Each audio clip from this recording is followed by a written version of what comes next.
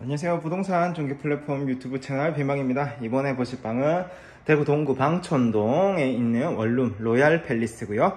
200에 27 그리고 관리비 3만원 그러니까 월 30만원에 나와 있는 원룸 로얄 팰리스 한번 보시겠습니다. 이렇게 현관에 들어서시면은 현관의 왼쪽에 신발장 위치해 있고요. 방으로 들어가기 전에 현관 쪽에 부엌 위치에 있습니다. 싱크대, 가스레인지, 냉장고 이렇게 위치에 있고요. 방 안으로 들어가시면은 어제 도배가 완공된 깨끗한 고체감 좋은 방이 되겠습니다. 도배의 흔적들이 있죠.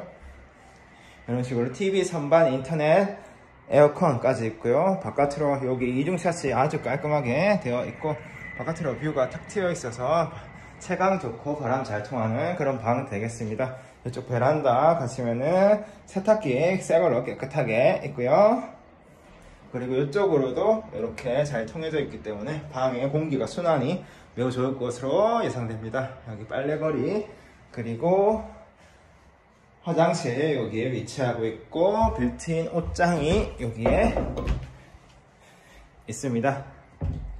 방촌동의 원룸 로얄 팰리스 더 자세한 정보는 빈방점 co.kr에서 확인하실 수 있습니다. 감사합니다.